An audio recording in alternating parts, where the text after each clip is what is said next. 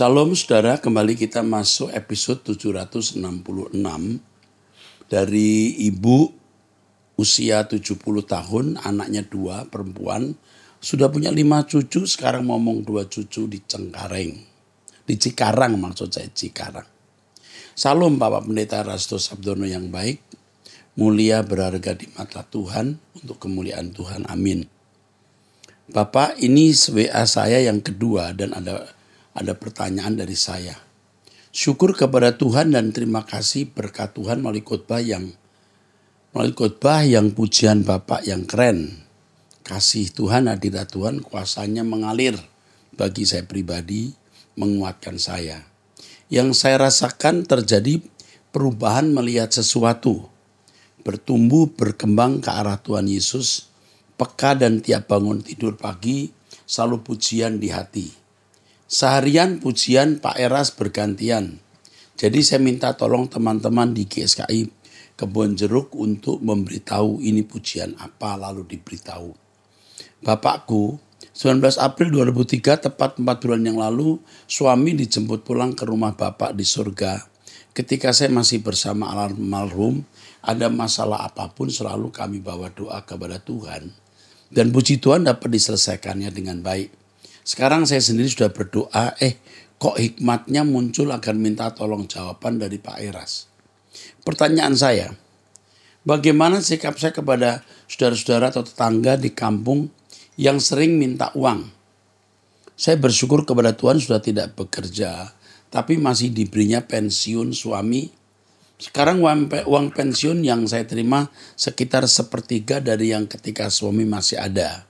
Karena asal alasan inilah keluarga tidak setuju dengan sikap saya. Begitu Bapak, makasih ya. Pertimbangan saya masih membantu mereka-mereka yang butuh itu karena saya kok punya belas kasih dan saya terapkan bagaimana kalau saya begitu. Kalau saya keliru ampuni saya ya Tuhan dan ingat firman-Nya dari Amsal 3 ayat 2 3 ayat 3, pasal 3 27 janganlah menahan kebaikan daripada orang-orang yang berat menerimanya. Padahal engkau mampu melakukannya. Juga saya nggak mau ditolak Tuhan. Di Matius 7, 21 dan seterusnya gitu. Oke, ibu membantu itu bagus.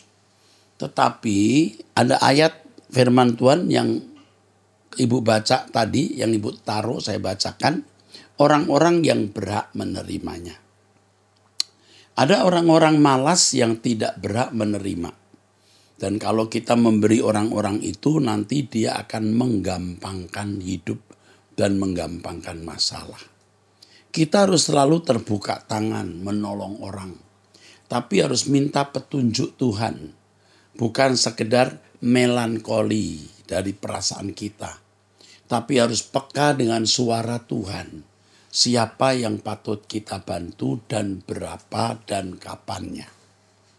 Nah di sini Ibu punya hati bagus sekali dan saya meneropong ibu dan bapak akan ketemu nanti di langit baru, bumi baru. Cuma sekarang ibu harus berhikmat di dalam membantu orang. Mulai berhikmat, mulai selektif ya. Ya, apalagi jumlah uang ibu sudah tidak seperti dulu. Lakukan itu bu, ibu pasti diberi hikmat dan kepekaan dari Tuhan, pasti. Jangan ceroboh memberi sembarang orang karenanya karena tidak enak atau karena belas kasihan yang bukan dari perasaan Tuhan. Jangan sampai. Dari ibu usia 50 tahun pekerjaan Bogor. Pak Erastus, bolehkah orang Kristen ikut deposito? Haramkah? Saya tanya ke beberapa orang, ada yang anjurin, ada yang larang. Apa pun yang kita lakukan harus kita lakukan untuk kemuliaan Tuhan. Kalau uang kita kita deposito, sebenarnya uang itu juga dijalankan orang melalui bank sebagai pengaturnya atau penjual jasanya. Jadi tidak masalah deposito, tapi lebih dari itu pertanyakan dengan Tuhan. Kalau seseorang tidak bisa bisnis, lalu maksa bisnis, wah habis uangnya, lebih baik didepositokan. Orang lain yang menjalankan. Tuhan memberkati. Dari wanita usia 45 tahun menikah di Kupang. Salam, saya sedang mengikuti seminar logo secara online. Bagaimana mendapat materi dalam seminar Pak Eras dalam bentuk buku? Saya sangat menghargai kerja keras Pak Eras dalam meneliti semua kebenaran monoteisme yang sangat jelas dalam firman Tuhan dan ajaran Yesus. Mohon infokan ke saya jika materi sudah dibukukan. Oke, logos dari tema kenosis sudah. Tetapi logos dari Yohanes pasal 1 belum. Nah logos untuk kenosis nanti Anda akan dapat tolong hubungi termasuk orang yang kita akan kirim. Tuhan memberkati. Pria 37 tahun wirausaha menikah. Pak Era, mau bertanya, saya tidak tahu mulai bercerita dari mana. Tapi yang pasti saya seorang suami yang mempunyai dua orang anak dan saat ini rumah tangga saya sedang di ujung tanduk karena istri meminta saya untuk menceraikan dia terus. Karena saat ini saya sedang dalam kondisi pemulihan sakit pasca stroke dari tahun 2021 lalu Pak. Jadi karena saya belum bisa memenuhi kebutuhan jasmani atau memberikan uang belanja dan uang sekolah anak kami sehingga dia saat ini dia yang bekerja memenuhi kebutuhan keluarga seorang diri. Tapi akhir-akhir ini saya mulai curiga dia sudah terlalu dekat dengan laki-laki lain yaitu teman satu kantornya sendiri. Kadang mereka teleponan sampai tengah malam dan kadang sampai mengganggu waktu tidur saya dan anak-anak. Kalau ditanya alasannya ngobrolin masalah kerjaan sampai akhir-akhir ini dia mulai mengganti pin password HP-nya dan menghapus histori chat WhatsApp dengan temannya tersebut sehingga menimbulkan kecurigaan saya lebih lagi. Sehingga saya mencoba untuk memeriksa HP-nya untuk mencari tahu apa isi chat mereka. Tapi story chatnya sudah dihapus. Saya curiga seperti ini beralasan karena sebelumnya dia pernah ketahuan selingkuh sekitar tahun 2017. Dan sampai-sampai melakukan hubungan intim dan dia mengakui hal tersebut. Tetapi saya sudah memaafkan istri dan juga laki-laki tersebut. Dan kita mau hidup baru lagi sampai sekarang. Tapi ternyata karena saya masih dalam masa pemulihan pasca stroke, sehingga tidak bisa menafkahi seperti dulu, sehingga dia yang bekerja untuk memenuhi kebutuhan rumah tangga kami. Tapi akhir-akhir ini saya mulai curiga ya di dekat dengan itu. Dengan teman kantornya. Tapi bukan selingkuhan yang dulu, ini orang baru lagi pak. Kadang mereka teleponan sampai tengah malam itu. Sehingga saya curiga. Kalau saya memeriksa HP-nya, dia emosi dan marah pada saya dan dia berkata dia tidak nyaman dengan perbuatan saya. Karena privasi dia terganggu sehingga dia saat ini minta cerai. Terus, tapi saya tidak mengabulkannya sehingga sering bertengkar terus Pak. Kira-kira apa yang harus saya lakukan Pak? Mohon bimbingannya. Dan jika saya pisah rumah sementara dengan istri saya, sama dengan cerai Pak? Maksud saya di sini saya mau pulang dulu ke rumah orang tua saya di Sumatera untuk menenangkan keadaan jika kesehatan saya sudah kembali normal. Baru ke rumah di Jakarta. Maaf kalau cerita saya terlalu panjang dan tidak runut. Terima kasih. Oke. Usianya baru 37 tahun ya. Tempatnya di mana ini tidak jelas. Saat nasaran saya jangan pulang ke kampung, tetaplah tinggal di rumah itu Bapak pemulihan tapi akan segera sembuh. Bapak pemulihan tapi akan segera sembuh. Bapak bisa menghubungi keluarga dekat, teman dekat untuk bisa minta bantuan dulu atau minta tolong dulu. Bagus, jangan jangan mengabulkan cerai istri. Tapi Bapak jangan periksa-periksa lagi HP-nya. Pasrah saja. Ya pasrah saja. Saran saya, nasihat saya, Bapak jangan uh, pulang ke kampung, tetap aja di rumah ini. Bapak jangan banyak di banyak bicara, diam saja. Kasus ini hanya bisa ditolong oleh Tuhan, hanya Tuhan yang bisa menolong. Ya. Istri Bapak sudah pernah selingkuh, ya. Hmm, potensi orang yang mengulang perbuatan selingkuh itu besar. Jadi orang yang pernah selingkuh dan menikmati perselingkuhan apalagi sudah sampai hubungan intim itu bisa menjadi semacam candu, ya tidak semuanya. Bisa jadi kenangan manis untuk diulang lagi. Tapi jangan curiga dulu, mungkin benar-benar dia hanya berteman. Mungkin ya, yang penting Bapak berdoa saja minta hikmat Tuhan. Ya ini saran saya, jangan pulang ke Sumatera, tetap di rumah itu. Ya minta bantuan teman dekat atau keluarga, kalau Bapak membutuhkan pendampingan nanti saya minta seorang pendeta mendampingi supaya Anda diduk, didampingi. Ya. Tuhan akan memulihkan dalam waktu yang tidak lama. Jadi Bapak jangan pulang ke Sumatera. Oke. Dari pria usia 44 tahun menikah, damai sejahtera Kristus Yesus yang mulia kami kagum kepada Tuhan yang mulia telah memberikan suatu perubahan yang berdampak. Melihat Pak Erastus dalam setiap pelayanan kami merasa perlu meniru dan menghasilkan keadaan yang terjadi yaitu pengalaman yang berarti di dunia dalam berkemas-kemas bersiap menuju Yerusalem baru. Yang ingin kami sampaikan jangan berhenti menuju jalan lurus sampai Tuhan yang mulia berkehendak. Terima kasih Pandeta Erastus untuk semangat yang Bapak bagikan.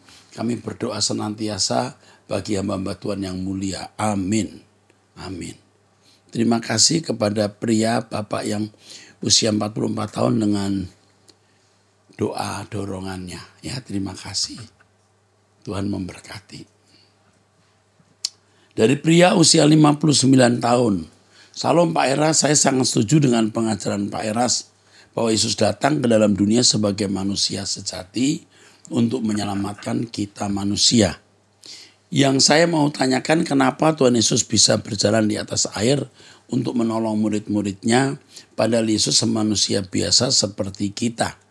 Oke, jawabannya di kisah Rasul 2 ayat 22 bahwa Allah yang bekerja di dalam dia.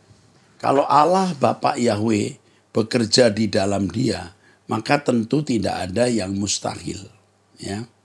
Tentu tidak ada yang mustahil. Semua yang dikerjakan Yesus itu Bapak yang mengerjakan. Artinya Bapak memberikan karunia. Yesus berkata bahwa kita juga akan melakukan hal-hal yang dia lakukan bahkan hal yang lebih besar ya. Firman Tuhan mengatakan begini. Hai orang-orang Nazaret, ini khotbahnya untuk orang-orang Yahudi.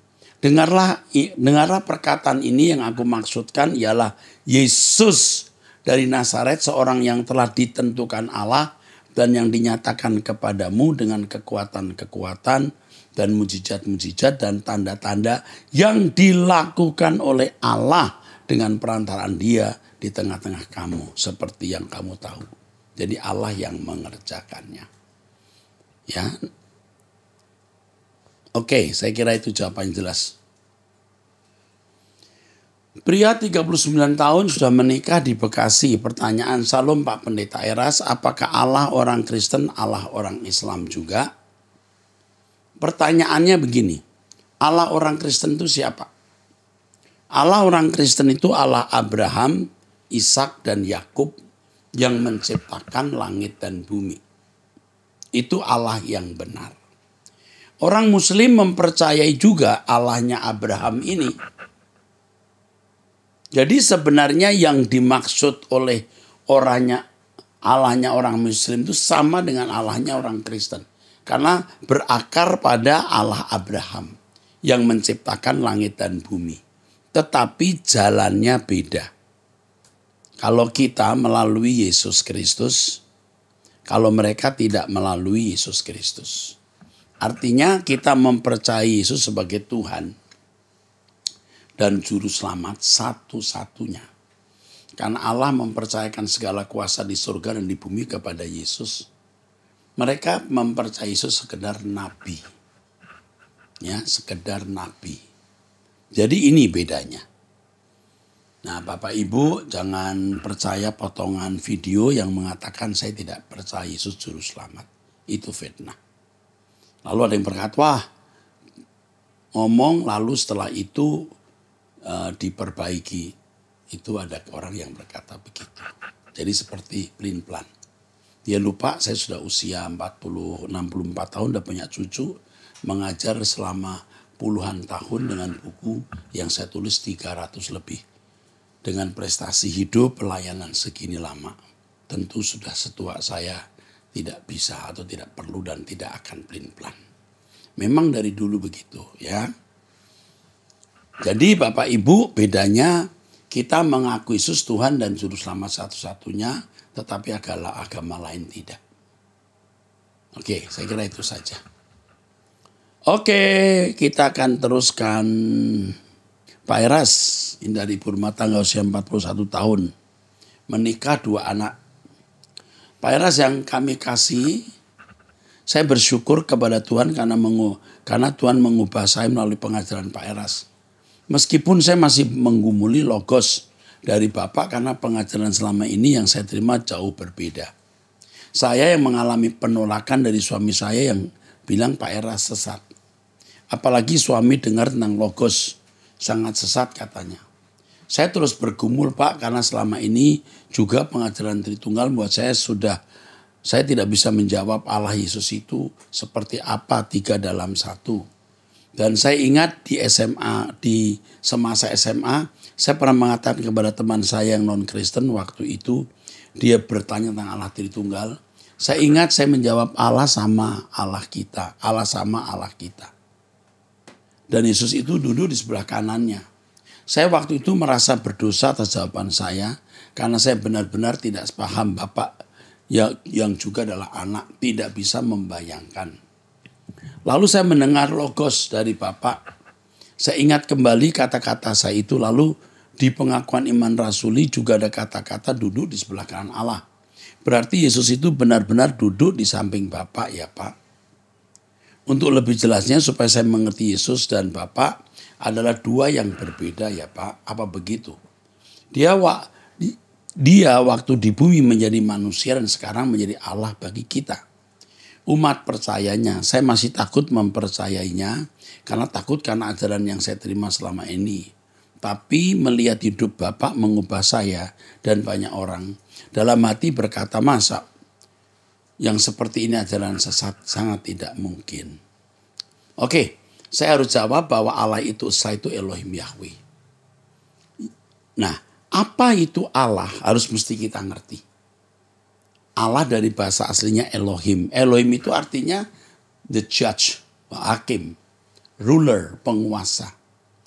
Allah ini artinya juga yang layak disembah, ya, penguasa, Nah, Bapak ini Allah yang mempunyai segala kuasa di surga dan di bumi, memiliki segala kemuliaan dan kerajaan. Bapak memberikannya kepada Yesus. Yesus menjadi Tuhan atas semua manusia. Nah, menjadi Tuhan, menjadi penguasa, jadi Allah juga. Yesus itu Allah kita, Tuhan kita, Raja kita, mewakili Allah Bapak. Tetapi Allah Bapa tentu lebih tinggi dari Tuhan Yesus karena Allah Bapa tidak tidak kelihatan. Yesus yang mewakilinya. Mudah sekali sebenarnya mempercayai hal ini. Ya. Allah kita esa ya yaitu Elohim Yahweh. Yesus Tuhan yang dipercayai untuk menguasai jagat raya ini. Berarti jadi Allah juga, iya tapi tidak sama dengan Bapak atau tidak lebih besar dari Bapak. Apa sulitnya mem mempercayai itu? Jadi kalau orang tidak punya anak ya tidak punya bapak kata tuh uh, Injil uh, surat Yohanes. Oke saya teruskan ya ini masih ada. Saya kan jauh dari bapak tapi saya bahkan melalui pengajaran Pak Eras. Saya selalu minta Roh Kudus menuntun saya. Rasanya kalau kita berkata Yesus dan Yahweh adalah dua berbeda seperti takut dilempar batu, dan pasti orang mengatakan kita gila dan sesat. Saya terus berdoa untuk hidup saya, karena saya tidak mau menyesal kekal setelah saya mati nanti. Saya takut. Cukuplah penyesalan atas dosa perbuatan saya di dunia ini yang membuat saya menyesal seumur hidup. Saya tahu rasanya tapi saya sudah bebas dan lepas karena pengajaran Pak Eras. daripada menyesal di kekekalan nanti yang tidak berujung. Saya gentar Pak, tolong doakan saya Pak untuk hidup berkenan lagi sehingga orang-orang yang saya kasihi hidup berkenan lagi sehingga orang yang kasih masuk bersama-sama di dunia akan datang. Saya berdoa untuk suami dan anak-anak untuk sekitar saya teman-teman dan rekan-rekan sepelayanan saya supaya Allah berbelas kasih kepada mereka seperti Tuhan berbelas kasih kepada saya. Bahkan kepada orang-orang yang membenci saya, saya ingin berbelas kasihan walau sulit tapi merindukan semua yang saya kenal. Kami bertemu lagi di sana. Saya merasa Tuhan begitu mengasihi saya. Saya setiap hari membuka khotbah-khotbah Pak Eras agar hidup saya tidak lepas lagi dari kasih Bapak. Pak saya mau bertanya, tiap saudara kita yang menjalankan ibadah puasa di gereja saya, saya Kristen, saya lihat ada gereja lain juga seperti Katolik yang ikut berdoa, juga ikut berdoa. Berdoa dalam doa syafaat untuk mendoakan supaya ibu ibadah mereka lancar. Saya bertanya kepada pendeta saya apakah itu perlu. Dia bilang nggak apa-apa. Supaya dalam keadaan mereka puasa mereka lebih tenang dan baik. Jiwa mereka lebih tenang saat puasa. Tapi dalam hati saya menolak. Kita memang harus mengasihi sama. Tapi berdoa seperti itu bisa dibenarkan? rasa seperti berdoa tapi munafik. Karena kan dalam gereja saya selain yang percaya pasti binasa. Kan, kan karena kan dalam gereja saya selain yang percaya pasti binasa. Tapi mendoakan puasa mereka kecuali berdoa keamanan selama puasa bagi saya tidak masalah. Pendeta saya bilang Pak Era sesat. Tapi bisa mendoakan untuk ibadah umat lain saya jadi tidak mengerti apakah hati saya yang selalu yang salah, Pak. Saya mempercayai di luar Kristen ada keselamatan, tapi saya tidak tapi rasa tidak perlu berdoa seperti itu. Mohon pencerahannya Pak supaya saya bisa belajar lagi. Maaf Pak saya tidak bisa menyusun kata-kata, tapi saya rasa Pak Eras mengerti dan melihat hati saya. Terima kasih Pak. Saya rindu bertemu dengan Pak Eras karena saya ada di Pulau Sumatera. Kerinduan saya bertemu dengan bertemukan dengan Bapak saat saya ke Jakarta nanti. Terima kasih Tuhan melindungi. Oke, saya jawab dulu soal doa puasa ya. Sebenarnya seperti yang sering saya lakukan setiap hari, setiap pagi, kita kalau berdoa itu minta pimpinan Tuhan. Kadang-kadang kita berdoa untuk bangsa dan negara, kadang-kadang tidak. Jadi bagaimana roh kudus pimpin. Tapi saya hampir tidak pernah berdoa untuk kebaktian. Karena memang ini semua berkenan di hadapan Tuhan, Tuhan pasti berkati untuk apa didoakan kebaktian kita. Ya. Lalu mengenai suamimu yang menganggap saya sesat juga uh, pendetamu, ya kamu diam saja. Ya kamu diam saja. Saya hmm, percaya kalau orang benar-benar bergaul dengan Tuhan dan memiliki Roh Kudus, Roh Kudus pasti bicara kepada dia saya ini pendeta sesat atau tidak. Saya kenal diri saya, saya tidak sempurna. Tapi saya mengasihi Tuhan, saya berusaha untuk hidup suci dan menyerahkan seluruh hidup saya, harta saya untuk pekerjaan Tuhan. Jadi saya kenal diri saya dengan baik. Jadi kalau orang punya nurani, dia bisa membedakan kebenaran dan dusta. Orang mengatakan ajaran ini sesat atau tidak hanya berdasarkan catatan sejarah, tapi tidak mem membaca Alkitab dengan teliti. Maka yang saya katakan back to the Bible, kembalilah ke Alkitab. Maka seminar saya selalu menggali isi Alkitab dari ayat ke ayat, ayat menjelaskan ayat, begitu. Dan itu bisa dibuktikan kebenarannya. Ya, bisa dibuktikan kebenarannya. Oke, saya kira itu nanti buku mengenai uh, kenosis ya Yesus mengosongkan diri sudah jadi. Nanti mungkin akan saya bagikan dengan mudah kepada semua orang. Ya. Saya tidak cari uang lewat buku, saya akan membagikannya. Oke, kecuali untuk perpustakaan dan bagi saudara yang mau uh, buku secara apa? hard book, hard ya. Hard copy atau hard booknya ya bendanya tapi kalau PDF-nya nanti saya pikirkan. Baik, itu jawaban saya. Saya percaya kamu punya nurani yang baik. Dan kamu akan bisa membedakan kalau orang melawan ajaran yang saya sampaikan dan menurut saya sesat, hidupnya benar atau tidak. Kamu periksa ya. Kalau dia punya roh kudus, dia tidak akan sembarangan bicara. Oke. Okay. Oke. Okay. Dari wanita usia 51 tahun, Pak Eras terima kasih sudah menjawab pertanyaan saya pada episode yang lalu. Sekarang saya mau bertanya, apa yang harus saya lakukan untuk anak perempuan saya usia 24 tahun yang sering pergi dugem? Dulu waktu SMA dia bergaul dengan teman yang salah sehingga dia mengenal dunia dugem ya. Tapi setelah merantau dan kuliah saya kira dia sudah pelan-pelan berhenti dan meninggalkan kebiasaan buruk itu. Saya selalu menasihati dan memberi semangat agar fokus menyelesaikan kuliah. Kalau ada yang tertinggal cepat diperbaiki tapi betapa kecewanya saya ternyata dia masih sering ke klub. Hancur hati saya Pak Eras. Apakah doa-doa saya tidak didengar oleh Tuhan dan apa yang harus saya lakukan Pak? Karena saya merasa sudah gagal menjadi seorang ibu. Oke. Okay. Um, nasihat saya yang pertama, ibu tenang dulu. Jangan memberhalakan anak jangan memberhalakan masalah. Saya harus bicara yang terburuk dulu, yaitu bahwa setiap orang bertanggung jawab atas dirinya sendiri kepada Tuhan. Ya, ibu bisa berdoa, tetapi apa yang pernah terjadi dalam hidup anak ibu itu tidak bisa dibuang begitu mudah. Selama anak itu dulu SMP SMA seberapa ibu telah menggarami itu saya tidak tahu. Mestinya kalau orang tua bisa menggarami dengan kuat pasti anak itu dibawa kepada Tuhan. Jadi jangan merasa gagal dulu karena ini kan belum selesai. Ibu mungkin sudah berbuat sebaik mungkin, namun anak masih berkeadaan seperti ini ibu bisa terus berdoa, memberikan contoh yang baik untuk anak ini, contoh kehidupan.